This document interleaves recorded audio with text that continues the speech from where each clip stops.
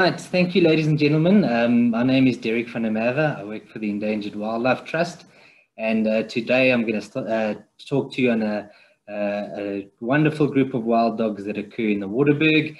And it's just a bit of a personal journey about the trials and tribulations of this unique population. Right, um, now wild dogs, um, if you'd asked me a few years ago, um, I wouldn't have said they're my favorite animal. But uh, having spent uh, a lot of time with this fabulous species over the last couple of years, they've slowly clipped into my heart and uh, I can firmly say they are one of my favorite animals. Um, but they are very, very interesting. Uh, they're top water predators. They uh, weed out the weak, uh, weak, and the sick and they help keep prey populations healthy. every individual in the pack is geared towards protecting and nurturing pups. This is the most important aspect of wild dog social behavior. Uh, wild dogs unfortunately lead a lot of space and in South Africa we're running out of safe space. Unfortunately, uh, we try and squeeze a lot of uh, large predators on small fenced reserves and uh, wild dogs are, usually outcompeted by these larger predators as they compete for the same food resources. But uh, just a little bit of history first and a little bit of background behind wild dogs before we start chatting about the Waterberg population. Unfortunately, in Africa, there's been a huge decrease in, in the range and numbers throughout Africa. Um, wild dogs are now extinct in 29 of the 39 African countries where they previously lived. Uh, and essentially in South Africa, we now have less than 200, 450 wild dogs, and most of them are confined to 14 small fenced reserves in South Africa. And uh, 450 dogs is not that many if you consider that we've got over 20,000 rhinos in South Africa. And uh, to think that we've only got uh, 450 wild dogs and almost a thousand rhinos were poached last year. Um, but just to give you a little bit of importance about the Waterberg, for those of you who haven't been up to the Waterberg, it is a beautiful area in Limpopo province. I uh, really encourage you to go and visit it. Some beautiful scenery, lovely mountains up there. But the Waterberg is one of the few areas in South Africa where the historical predator guild is still uh, more or less intact, meaning that predators that historically occurred there still occur there today. Uh, even as uh, not as long as two years ago, we had some lions come in from Botswana, uh, but essentially the Waterberg wild dog population is the largest free roaming population outside of protected areas in South Africa. Wild dogs are South Africa's uh, most threatened carnivore, and they're the, the second most uh, threatened in Africa after the Ethiopian wolf. Um, but yeah, the 23 odd resident individuals that occur in the Waterberg are of critical conservation importance. The area also acts as an important dispersal corridor for the species, and there are records of wild dogs moving from, uh, from the Waterberg both into Botswana and Zimbabwe. But yeah, if we look at the Waterberg uh, region and the sightings that we've had since 1995, uh, they were quite widespread in the 1990s and was estimated there were over 80 dogs in, in eight packs. Uh, in, in 2005 to 2015, there was quite a strong Waterberg population. However, more recently, there's only isolated groups with dwindling numbers, as you can see by the red dots on, on the map. But yeah, they've always been wild dogs in the Waterberg. Um, uh, I recently uh, went up to the northern Waterberg and, and saw this cave painting. It's one of the only cave paintings that I know of wild dogs. As you can see there on the picture on the left is their, their, their charismatic Disney ears and as well as their white tails that are always up when they're on top of a kill. So uh, yeah, just uh, some interesting uh, San rock art in the northern part of the Waterberg, and I'm so fortunate to have gone and seen it about a month ago. Um, but wild dogs, uh, just to, to let you know where they stand in terms of the law, uh, they're categorized as an endangered species, a species facing a high risk of extinction in the wild in the near future. Although they are not critically endangered, the activities of hunting, killing, or capturing TOPS listed species require a permit and uh, from the relevant conservation authorities where no permits have been issued, such activities are deemed a crime. Yeah, one of the most difficult um, uh, things facing conservationists over the last number of years is over many generations, there's been an extremely narrow-minded mindset towards predators, and it was one, been one of the most difficult challenges to overcome. Methods used to exterminate predators have been passed down from generation to generation, and they're often extremely cruel. exposures to the extreme horror of predators attempting to, to escape from gin traps by chewing off their paws, or the indiscriminate use of lethal poisons emphasize the absolute necessity for us to, uh, for us to, um, to, to seek alternative solutions. But the Waterberg in general has changed from a livestock farming area into a game ranching area. In the 1990s, it was predominantly livestock, but the, the, the increase in the price of wildlife, specifically game, has led from this area becoming more a predominantly game ranching area. Um, we even our president has jumped on the bandwagon and he's got a number of wildlife, but essentially um, you can get about a 5,000 rand for a, a, cow in South Africa, whereas I know recently a quarter share in a buffalo was sold for 26 million rand. The increase in, in, in the price of game in the wildlife and ranching industry has also been a difficult uh, task for us as, as carnivore conservationists you know, landowners who, who have these very expensive prized animals on their properties simply do not tolerate any predators on their farms. And uh, unfortunately, our carnivore populations in those areas have taken a bit of knock as these carnivores have been directly persecuted. I've heard some horror stories of uh, people even killing African rock pythons because they were worried they were going to kill some of their, their prized animals on their farms. But some of the prices that these animals reached were completely ridiculous. I mean, they were selling a golden wildebeest bull for 700,000 Rand just a few years ago. Um, yeah, so let's get to the main threats for the wild dogs in the Waterberg. Direct persecution is definitely the biggest threat up in that area. I mean, we've got many cases where we know wild dogs have been shot by, um, by uh, landowners. Uh, the case on the left is a case in Marakele in 2010. This particular pack kept escaping out of Marakele National Park and uh, predating or going into a black impala camp just outside of the reserve. And unfortunately, a farmer just had enough. And one day he shot a number of these individuals. Unfortunately, that pack then dispersed out of South Africa and moved into Botswana. But even as close as last year, this particular animal uh, called uh, Lapalala, she was collared on uh, a reserve called Lapalala in, in the northern Waterberg. She was shot by a landowner last year. Uh, unfortunately, the landowner uh, thought that she was a domestic dog, or that's how the story goes, and unfortunately, she was shot. Then snaring. Snaring is also a, a, major threat to wild dogs in the Waterberg. We've lost a number of animals to them. Um, that photo on the right there was a case earlier this year, in March this year. Um, yeah, unfortunately, uh, wild dogs are quite susceptible to snaring because when they hunt, they fan out. And uh, unfortunately, if they go through a snaring line, a snare line, more than one or two or three individuals can often be caught uh, in one incident.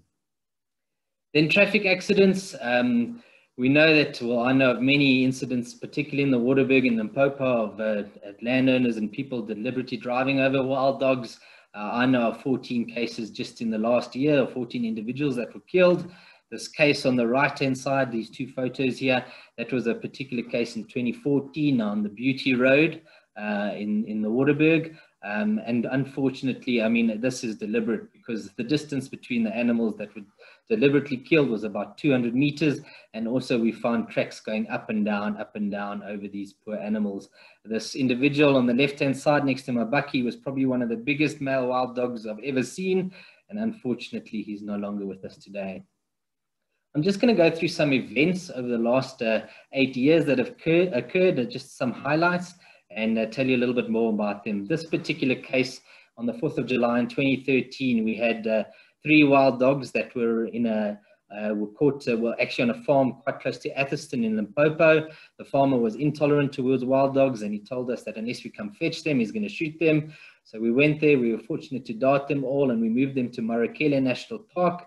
It was a dispersal group of males, but uh, we were dumbfounded to, to follow their movements over the next three months. We released them on Marakele National Park and uh, they made their way all the way down to Madikwe Nature Reserve in the northwest, all the way down to Mafikeng and across to Koster, which is actually quite close to Gauteng, and all the way back into Botswana, and then back way, all the way up to Madikwe, and this was in a three-month period. Um, only uh, there were only two reported sightings of this group of uh, three males, uh, we got uh, a postcard sent to us in uh, from a farmer, well, a, a, photo actually sent us a, a, photo in the post from the Koster area, and these dogs were also seen crossing the Limpopo River into, into Botswana.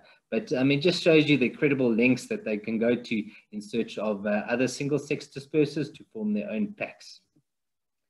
Um, and on the 21st of November in 2013, uh, we got called in and we were told about a, a group of wild dogs in, on Lapalala.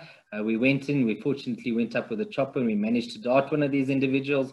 We put a collar on him and we tracked his movements for about three months before the collar stopped working. And uh, he was mainly utilizing the Melkrivier area in the Waterberg, went down to Entabeni where we finally lost uh, um, um, signal on the collar.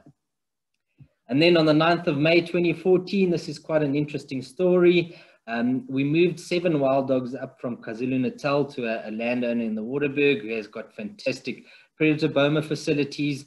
Um, we kept these wild dogs there for a period of time because there was just no space left in South Africa amongst the other meta population reserves. And this group of seven dogs actually attracted a free roaming group of 15 wild dogs in the Waterberg. The landowner then proceeded to, to shoot an impala and pull a carcass into, into one of his predator bomas where he lured all 15 dogs in and he caught these 15 individuals and he refused to let them go. Um, unfortunately, we had to get uh, the Center of Environmental Rights involved and um, eventually together with the local conservation authority LEDET, we went in and confiscated these dogs. We moved the seven dogs back to KwaZulu-Natal and the 15 dogs were released back into the Waterberg. This uh, incident happened on the 11th of August 2014. Uh, actual, uh, actually, a, a, local mountain biker said he, there was a very sick wild dog on the 24 Rivers Road in the Waterberg, and uh, we went out, mobilized, and had a look. And unfortunately, this dog was shot in the head with a, a low caliber rifle. We took him to Dr. Peter Caldwell, probably one of the most well known uh, carnivore uh, vets in, in the country. Uh, he fixed him up, and a week later, we released this dog back into the uh, the Waterberg area. Um, unfortunately, the dog only stayed alive for about uh, two for about a month. He couldn't relocate his pack, and uh, unfortunately, we suspect he was killed either by baboons or a leopard, as we found his his carcass on a, a cliff face that was almost impossible to get to. But yeah, between 2014 and 2017, we were quite worried about the Waterberg wild dogs. Um, we received uh, not too many sightings during that time, and what was very worrying was the, the number of dogs seen in each sighting was uh, very was very low. So we went on a massive uh, poster campaign where we painted the Waterberg with these African wild dog posters to encourage landowners to send through their sightings. Uh, we did receive a number of sightings that you can actually still find some of these posters in the Waterberg. We also did a carnival uh, photo contest and uh, fortunately we did get some photos. But uh, we were very worried about the, water, the Waterberg wild dog population. Finally, on the 29th of May in 2017, we um, had a report of three wild dogs in, a, in another black impala camp in uh, the Thabazimbi area. And uh, uh, we went out and we darted these dogs and it was quite an interesting story because um, uh, I had to then, uh, these three wild dogs were put into a, a, um, game capture pay, well, a, a, transport unit, and we had to get them into the wild dog transport boxes. Uh, they were still, unfortunately, the vet had already left. He had a prior engagement, and they were all waking up. But then I actually realized that these animals aren't the savage uh, creatures that many people make them out to be. And I actually picked them up and put them into the boxes. The middle photos of me, a photo of me taking one of these dogs outside of the box, and you can see it's completely terrified with his ears back and they're not the savage creatures that many people make them out to be. They're actually very afraid of humans. Uh, unfortunately, these three dogs, uh, well, fortunately, they moved down to Entabeni where they spent some time and then they moved into the Sterkrivier area of the Waterberg. Unfortunately, the last sighting we got of them was just two wild dogs, both with snares on, unfortunately, so we presume they died. Um, but yeah, the Waterberg wild dogs were in crisis. And we estimated there were just five dogs alive in the Waterberg in 2017. And uh, as you can see uh, from our sightings that the number of uh, individuals seen per sighting really decreased from 2013 to 2017. And we knew we had to do something different. Um, I was obviously very concerned because I was looking after the Waterberg at the time, and I was very well worried that wild dogs were going to become extinct in the Waterberg under my, my watch. So it was time for a necessity for us to seek alternative solutions. Fortunately, in the beginning of 2018, uh, 12 wild dogs were seen on a, a reserve called Lindani in the Melkrivier area. And we knew we had to collar this pack and start monitoring them very, very closely. Um, the EWT source funds to put two collars on the pack. Um, you know, collaring wild dogs is very, very important. It gives us updated GP loca GPS locations. You can have these locations every 10 minutes if you want. However, that will uh, diminish the battery life. But it also helps us to determine their home range and determine if and where they are denning. It also serves as an early warning system for landowners, if they're going to a certain property that are not wild dog tolerant, we can intervene. We can either chase the dogs off that property or we can prevent them to, from going to that property.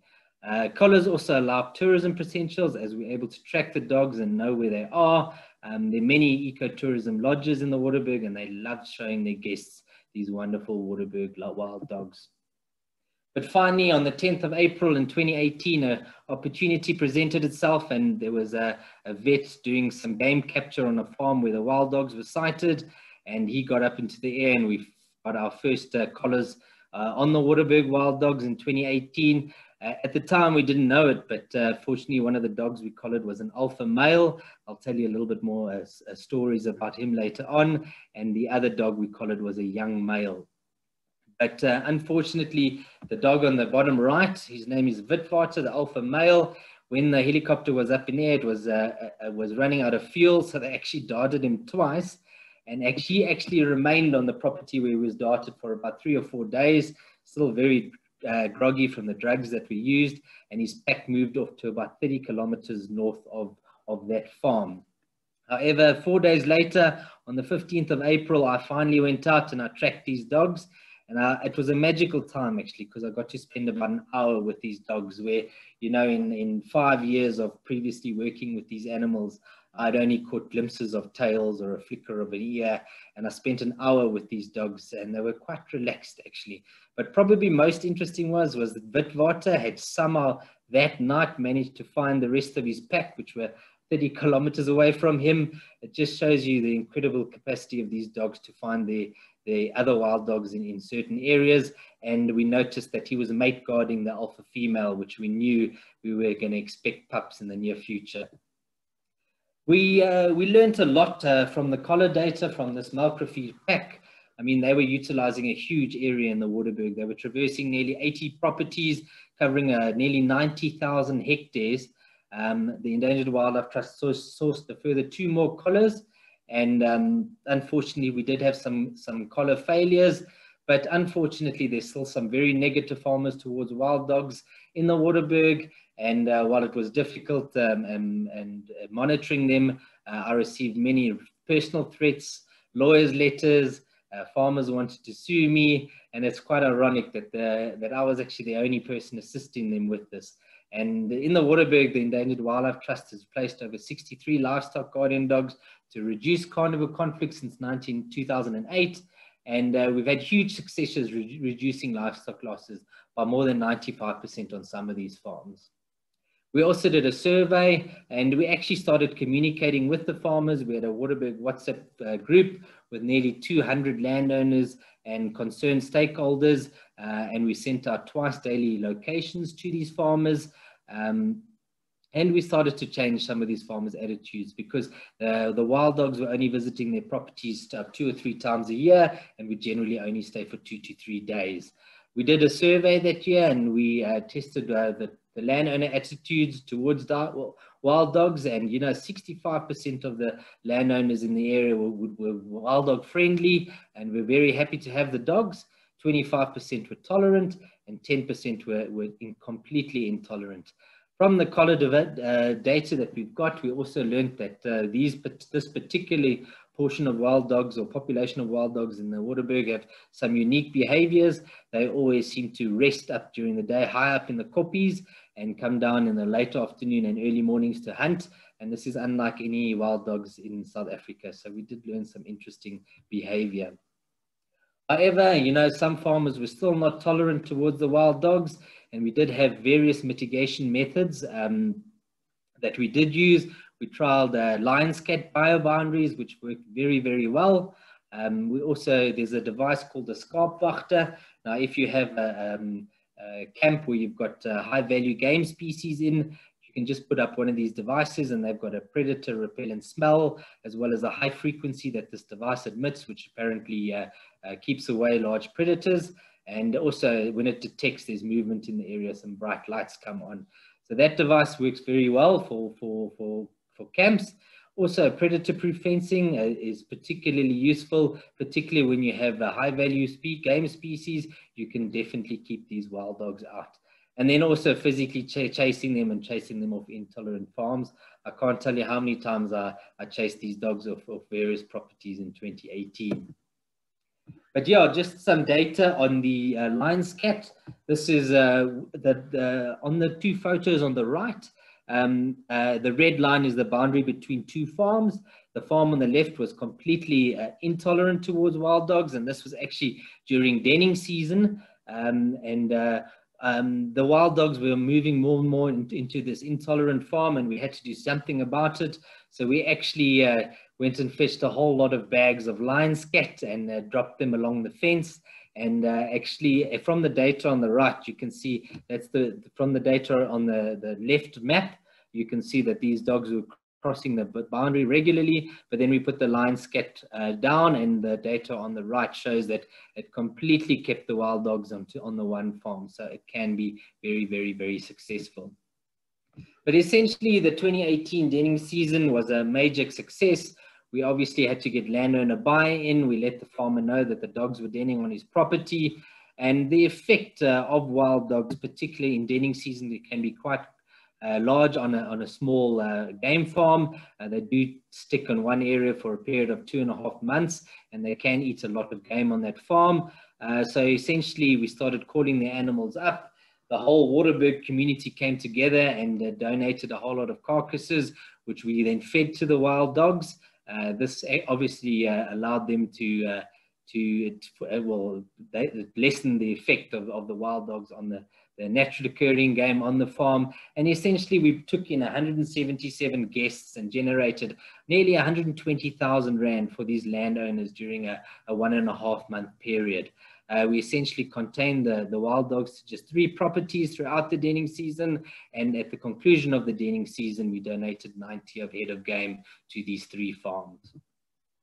But yeah, the 2018 denning season was rather chaotic. Uh, we arranged tourists, we took bookings, we gave directions to get to the property, we collected carcasses, and we did all the corner call-ups. Um, uh, there was no electricity on the property with very little cell phone signal and I pretty much survived uh, for two and a half months living out of a cooler box. But, uh, you know, it was an incredible time. I got to see these wild dogs denning. I got to see them on a daily basis. I got to know their personalities. And it was just an incredible time for me in the field with these dogs. We also learned something interesting. Never before had we, had we had a report of wild dogs feeding on eland and it was the first confirmed eland carcass that wild dogs had taken down. It was a heavily pregnant female, but nonetheless, it was interesting. But yeah, it was challenging. I had a wife at home with uh, twins that were less than a year old, um, and I pretty much spent two and a half months in the bush trying to give this pack the best shot of survival and raising their pups. But yeah, um, it was a success. Uh, they successfully raised nine pups and uh, we basically show that wild dogs do have the potential of making money, giving them a financial value. Yeah, it was during this time as well that we learnt of two other dogs in the Vrymanrust area, just uh, east of uh, just uh, uh east of Vaalwater. This was just two adults. Um, they were very, very skittish, and we actually tried to to collar them. Uh, unfortunately, it took us eight months to eventually collar this group, but they successfully denned and had six pups in 2018 Five of them survived and it became a pack of seven. And uh, in 2019, they also had a litter of eight pucks and the pack became 15 strong. But yeah, uh, it was quite uh, different. The, the Vrymanrust pack was using a, utilizing a much smaller uh, home range than the Melkrivier pack. They were only utilizing about 25,000 hectares, 28,000 hectares and over 25 properties. Uh, the EWT sourced uh, three satellite collars, which allowed us to track these and monitor these dogs quite intensively. We also had a Waterberg uh, uh, WhatsApp group in the Vrymanstrust area where we, where we sent out daily locations to all the concerned landowners. But yeah, unfortunately, the area that these dogs uh, were, were, were moving in became too small for the size of the pack. And uh, these dogs were, were moving further and further away from the core range where they were safe and they started predating on cattle. And they actually predated on 35 cattle from November last year till uh, uh, March uh, this year. And there was lots of wild dog landover conflict. And we knew if we didn't do something that these dogs were going to be shot. Um, eventually, a decision was made by the Wild Dog Advisory Group and LEDET, which is the Limpopo Conservation Authority, to relocate the pack. And uh, fortunately, Lapalala stepped up to the plate and we were able to, to move these dogs to Lapalala.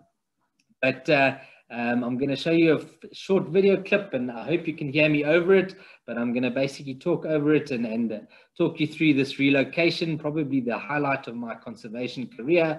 Um, um, but uh, essentially, how do you relocate uh, a pack of wild dogs that have been shot and chased off farms? You know, we thought it might be quite easy. So at the beginning of March this year, we set out to, to go and uh, hopefully capture and relocate this pack to Lapalala. But uh, we got a, um, a, carcass and we went and did a call up in the area and these wild dogs were extremely skittish.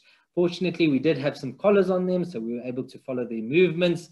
But uh, we quickly, quickly learned that uh, this, uh, this area and these dogs were very, very wild and it was going to take a lot of habituating and getting them to come into call-ups and feeding more uh, relaxed on these carcasses. And uh, after a week uh, trying in the area, unfortunately, the timing wasn't great because COVID arrived and then the lockdown happened and essentially we couldn't travel anymore but we knew uh, now more than ever it was uh, very important for us to to relocate this pack because then uh, obviously during the lockdown there'd be very little monitoring going on. And should this this pack in on a property particularly a cattle property in that area there's absolutely no way that the landowners would tolerate that. So it became very very important for us to move the pack. We uh, fortunately got our permits in place and we set out again in April to try and uh, uh, uh, habituate this pack and, and move them into, into a safe area. And uh, essentially, uh, we went out, we laid down carcasses, and it became more and more provincing. After actually, I think it was on our fourth uh, fourth attempt, um, I called the vets in, and I thought we had a very good chance of uh, of collaring them. So uh, the vets who were out with me three weeks prior actually couldn't believe that it was the same pack and that they were so relaxed. Yeah, you can see uh, two of the individuals mating. So we actually thought that um, the, a wild dog's gestation period is about 72 days. And we thought in the two and a bit months time, we'd have some puppies. Uh, unfortunately, it wasn't the alpha pair and the alpha pair had already mated, but I'll get to that later. But essentially, um, uh, we set off to, to collar this, this pack and um, we uh, arrived very early one morning, went out uh, with a wildebeest carcass, which we thought would, uh, would, would keep them uh, a bit longer and allow the vets to dart a few animals. Unfortunately, they wanted nothing to do with the wildebeest carcass, so we had to go and shoot an impala on the farm. And uh, fortunately, um, the wild dogs then came in and fed on the impala. But essentially, that's the first dart going in, or actually, it was the third dart. You can see two wild dogs already lying down there next to the carcass. But on the first day, we managed to dart three animals and move them across to, to, to Lapalala. Um, yeah, so very encouraged by our first day. We managed to get three dogs. The second day we went back and did another call up and we quickly realized that the dogs were skittish again and very untrusting of us as humans. So we had to get a chopper back in and fortunately we had an amazing team of Dr. Andy Fraser and Zoe Glyphis. And uh, on the second day we managed to get another four males. Uh, it's funny that we just got males that day, um, but yeah, fortunately we got another four and we moved them across to, to Lapalala. Um, on the third day, um, we were obviously at this time we'd already got seven dogs across from this area and, and seven out of 10, and we needed three more individuals. Uh, we then um, uh, set off the next day, and uh, and uh, we we started calling them up again. Unfortunately, they didn't respond to that. We got the chopper in again, and uh, we started uh, trying to get them via the chopper again. Fortunately, that evening we managed to get another two, both females. It's funny, the last three dogs that were left were all three females. Just the collared individual was left. We actually got a dart into the, the alpha female, the collared individual that evening, but unfortunately the, the dart bounced out and uh, I then proceeded to uh, to dig inside one of the old dens, which she managed to crawl into to try and get her out of the, the, the den, but we couldn't find her. And uh, I tell you what, that just probably one of the longest nights of my life because uh, we actually safely got nine out of the 10 dogs safely to the boma in Lapalala. And, uh, and we, we just left the one collared individual for the next morning. But I uh, monitored her movements that evening, and the landowners on the farm kept on telling us that she was calling the whole night. Obviously, um, very worried where the rest of her pack had disappeared off to, and uh, it was quite interesting monitoring her movements that night. She went to all of the locations where the previous wild dogs were actually darted and moved off, so we did feel very, very sorry for her. But the next morning, uh, we got up very early and I was monitoring her movements via the satellite collar. And actually, that morning, um, she started moving about three kilometers away. So, very quickly, I messaged uh, the landowners in the area and asked them to start playing a who call to try and entice her in. And she responded very, very quickly. She was about two kilometers away. And by the time she we got to the farm, which was about 10 minutes later, she was already right at the house where we were calling from. So finally, we managed to collar the last uh, female, which turned out to be the alpha female. And uh, it was just such a relief that we'd uh, finally managed to get uh, all 10 dogs into the boma safely at Lapalala. But yeah, um, it was rather interesting. Um, I mean, since I've been working in the Waterberg since 20, 2012 and uh, I've always wanted one of the big reserves in the Waterberg area to, to, to welcome these naturally occurring wild dogs on them. And uh, finally it was nice that Lapalala Wilderness agreed to, to take this pack and they've recently increased their size and they're now 50,000 hectares. So uh, yeah, the wild dogs actually, we've had them in the Boma since we moved them there in April and they've subsequently had 11 pups. The pups have grown up so quickly. We actually put up a whole lot of cameras at the den and we've monitored them growing up. It's been incredible to watch and uh, I've learned so much uh, from observing them on the cameras. Um, some really interesting behavior. One thing that was quite remarkable to me was just um, just how uh, loud they were at the den. And um, and uh, yeah watching these pups watching them eat their first solids watching them take their first steps out of the den it's been an absolute incredible privilege to what to witness. And uh, yeah we're going to be shortly releasing them at the beginning of October. But yeah subsequently we've also managed to collar another pack just last week, actually, um, we got a report of an injured dog crossing the R33 between Vaalwater and Ellisras. And uh, we went up and we followed and we tried to monitor these dogs. Thanks to the landowners in the area, um, we actually have um, we actually found out that this pack has, pack has successfully had pups and we went up with the chopper last Friday and there's four adults in the group with seven pups, which is incredibly exciting. It's great to, to know that we've got two packs that have successfully raised pups this year. But yeah, um, essentially we know going forward that we need to collar every pack or put at least two collars on every pack going forward. Um, but yeah, very, very exciting news. I'm just going to tell you about a few of the unique individuals that I've had to work with over the few years, these last few years. This is Witwater, an incredible alpha male from the Melkrivier Pack. Very nice, beautiful white dog. But yeah, it's incredible. Um, in beginning of he denned uh, in in um, the Melkrivier area in 2018, and uh, and in May in 2019, we actually got a camera trap photo of him uh, on um, on uh, Marakele Private uh, Game Reserve, which is nearly 120 kilometers away from where he previously did the previous year. Unfortunately, his pack split up early in 2019. Uh, the alpha female was killed. We don't know what happened to her, but essentially he split off with uh, four males, a dispersal group of four males. And then um, uh, the females split off into another area, and the remaining um, pack members with their pups stayed in the Melkrivier area. But yeah, incredibly, he eventually moved back to the northern Waterberg, which again is about 120 kilometers as the crow flies, and he's actually fathered the the the the pack, the Tworth pack that we currently uh, collared um, last week. This is Lindani. Uh, this was the alpha female of the Melkrivier pack. Unfortunately, she's the dog that went missing in early in, in, in early 2019, but quite a unique dog. What's unique about her, she's got almost a pitch black tail, which is unusual amongst wild dogs. They usually got uh, white tips on their tails, but the incredibly beautiful dog and uh, was a wonderful mother to her pups in 2018.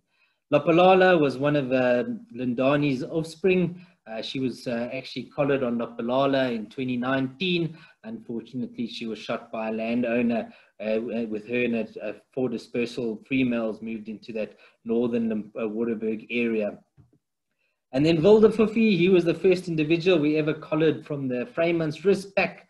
Um, I just want to tell you an amazing story. Unfortunately, we lost Wilderfuffy earlier this year. He was killed in a snare in the, in the Vrymansrus area. But uh, we would never have known uh, what happened to him. And actually, his collar stopped working in about beginning of March this year. And I was receiving no more pins from this collar. And uh, incredibly, about three weeks later, um, I received uh, two pins that came through from his collar, which I found very strange. But what was very concerning is that they were at the same spot. So very concerned, I thought something was wrong. I thought he might have been killed. So I asked a, a landowner to go and look in the area where I was receiving his locations, and he found him caught dead in a snare, which was very, very unfortunate.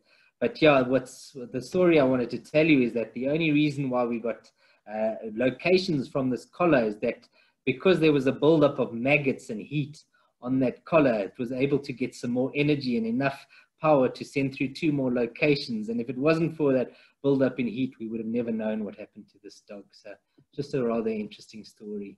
But yeah, some personal highlights for me. I got to meet Princess Charlene of Monaco in the in 2018 denning season. She came to see the Waterberg wild dogs and totally fell in love with them and uh, has become the patron of the Waterberg wild dogs. And she still supports our conservation efforts on these dogs very generously. But what a lovely down to earth lady. I enjoyed a brandy and coke with Princess Charlene, which was absolutely amazing. And then also, I mean, I got to show my young family and my wife these dogs in 2018, and I'm hoping to take them up to show them the Lapalala pack later this month. Um, but yeah, the way forward, I mean, the Waterberg essentially needs to take ownership of these wild dogs. Um, uh, we need to we need to give these wild dogs a financial value so that uh, landowners conserve them, and we need to collar at least two individuals from every pack. We need to employ a full-time monitor, and I'm very pleased to say that recently we've established the Waterberg Wild Dog Initiative, and we've recently employed a, a half-time uh, monitor who's going to be working up for us in the in the area. Riley Mooney, you've got a big task on your hands going forward, but uh, you know the impact that you've just made over the last month has left me very confident that these wild dogs will be in safe hands going forward. But essentially, we need to make this project work in the Waterberg so that it can be implemented elsewhere in Africa. And then uh, just in conclusion, um, from an estimated five dogs in 2017, we now have 49 known resident dogs in the Waterberg, which is absolutely fantastic. But it has been a long, hard slog. And, you know, without strong community support, this would have not have been possible. Um, I've got many people who I've got to thank up in that area. But, you know, we've got a much better knowledge of the Waterberg wild dog population. Uh, we've started the Waterberg Wild Dog Initiative, which is a community-based initiative in trying to conserve these, these dogs and work with landowners to come up with mitigation methods for the benefit of them and these dogs. And you know, the Waterberg has always been home to the free roaming African wild dogs, and we'd like to keep it that way. Essentially, we want to continue uh, keeping uh, to keep the area safe haven for predators and farmers and uh, wildlife ranchers so everyone can prosper. But yeah, um, I think I've gone a little bit over my time limit. I hope you guys found the chat very, very interesting. Apologies uh, about the dark lighting in this area, but I'd really uh, like to thank uh, various people. I'm not going to thank you all individually, but uh, this has definitely been a collaborative effort going forward. Um, uh, essentially, if you have any questions, I'm going to answer some questions now, and then, uh, yeah, um, I'll, I'll try and answer as many as I can.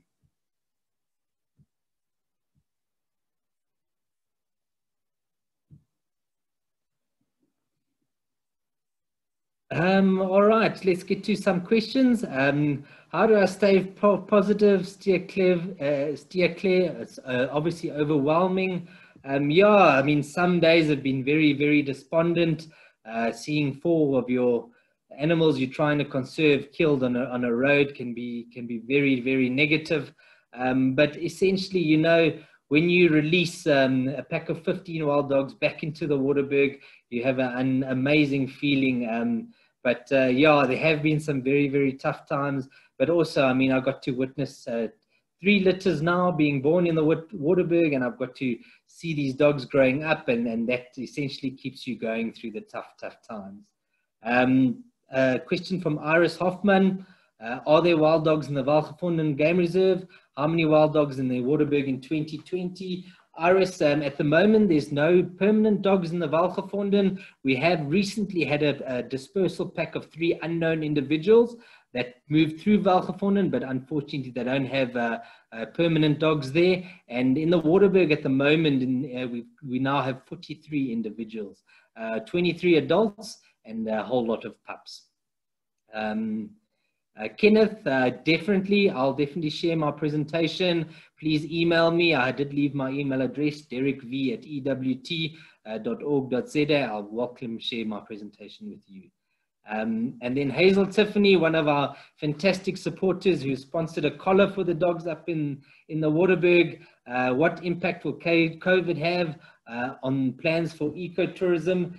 Definitely, um, I mean, this year we missed a big opportunity uh, of taking tourists to see these dogs uh, during COVID. Unfortunately, there was no tourism activity happening. And, you know, that's why it was so important for us to uh, to um, to take to to capture those dogs and move them to Lapalala, a safe place. Because I think had we not done that, uh, we wouldn't uh, have the, those dogs wouldn't be alive today. Um, all right, let's have a look here. Um, here we have Fern van der Poel, who says, uh, uh, oh, sorry, I lost the question. Just hang on. Unfortunately, I can't see your whole question, Fern, um, but you're a total Lindani addict. Um, yes, the wild dogs were on Lindani recently. Lindanis have been uh, have been wonderful to me in the Waterberg, and the wild dogs have actually been on Lindani quite a lot.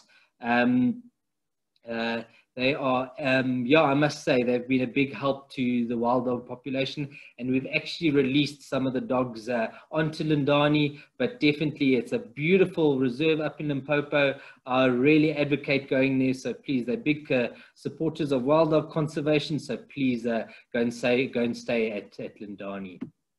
And then uh, Penny Abbott, uh, is the is there this the only area in South Africa with free ranging wild dogs?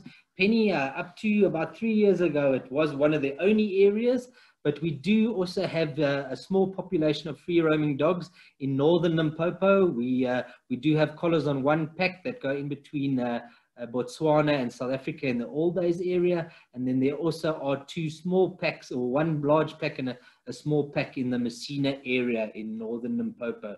But other than that, um, the, also the western boundary, there are obviously of Kruger. There are a number of free roaming wild dogs in that area, but they do occur mostly on safe reserves.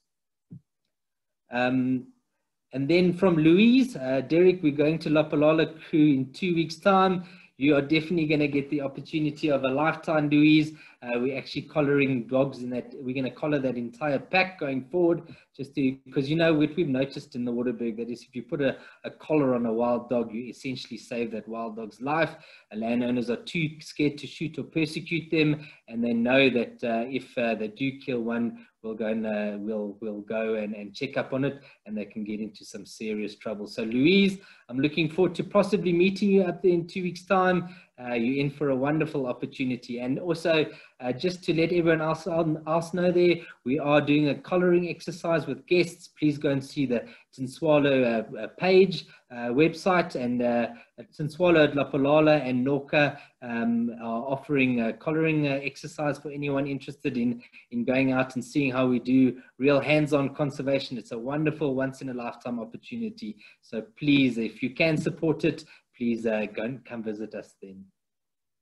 Um, Alistair Stalker, uh, are there dog, no dogs in Valgafontein and Marataba, Marakele? No, no permanent, permanent dogs up there. There are only, uh, every now and again, there's small dispersal groups moving through there, but unfortunately they don't have permanent dogs. Um, all right, I'll answer three or four more questions. Um, and then uh, we'll call it a night. Uh, if if uh, I don't get to your question, please, you're welcome to email me. Uh, I'll, I'll, gladly uh, get to um, mm-hmm. get to your your questions later. Um, Barbara Russell, um, you do you want an update on the males that went from Tembe to Kalahari? Uh, I would suggest you contact Cole Duplessis. He'll be able to answer that for you. Um, Eleanor Cadell, are there um, any other initiatives elsewhere in Africa? And if so, can they learn from your experience? Definitely, Eleanor. I'm actually liaising at the moment with uh, some people in, in, in Namibia who are struggling with many of the things I struggled with. And, you know, it's not about reinventing the wheel, it's about learning from each other. And we definitely are trying to assist them and, and trying to get a similar initiative running up in that area. Nicole Burry, uh, as private property owners in the Waterberg, how can we get involved um, to ensure the future of these amazing dogs? Nicole, please get hold of me. Um, really, we're looking for some volunteers up in that area. I can put you in, in contact with Riley Mooney. Um, and uh, we'll definitely, we need some volunteers up there. Also, uh, obviously, we always need funds to put uh, uh, collars on these dogs, so any financial contribution will be will be much appreciated. Uh, Jobert Hofmeyer, um, the females must be incredible mothers for their pack to have increased so abundantly. Uh, and thank you for the presentation. It was very informative.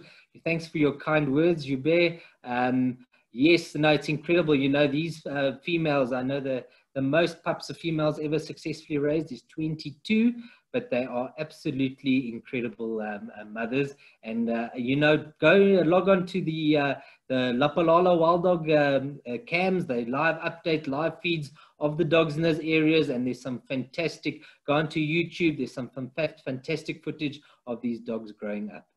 Um, Victoria Petley, is it possible to visit and see the Waterberg dogs?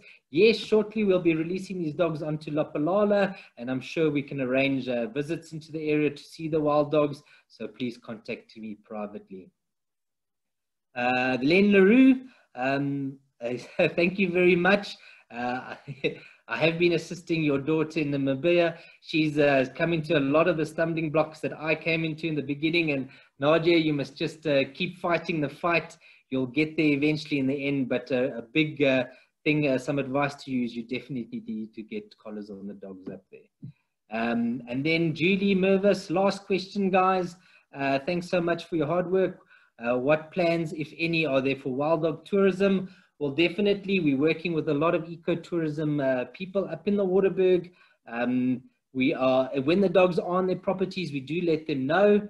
Um, but uh, definitely going forward, particularly in denning season, we're going to be doing similar initiatives that we did to 2018. And we're going to take uh, tourists in to see these wild dogs when they are denning by generating uh, funds for the local landowners. They won't persecute them any further. So please, uh, every anyone, if you want some more information, go and look at the Waterberg Wild Dog Facebook page. I really hope you enjoyed the presentation. apologies, I had to do it in the dark as we do have load shedding but I hope you, you, you really enjoyed the presentation. Thank you very much, ladies and gentlemen, and uh, thanks a lot for joining and, and asking about uh, the incredible wild dogs of the Waterberg. Good night to you all.